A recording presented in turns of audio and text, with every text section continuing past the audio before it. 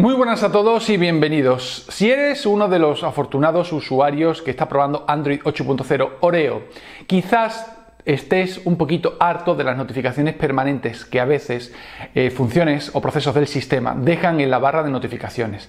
Hasta ahora, si queremos quitarlas, teníamos que hacer uso de Tasker de una forma un poquito más enrevesada, pero ya ha salido una aplicación en el Google Play Store que es gratuita, es muy sencilla de utilizar y sirve exactamente para eso, para ocultar esas notificaciones. Técnicamente lo que hace es otorgar un aplazamiento a la notificación de un periodo muy largo de tiempo, de forma que la realidad lo que hace es ocultarla y ya no aparece.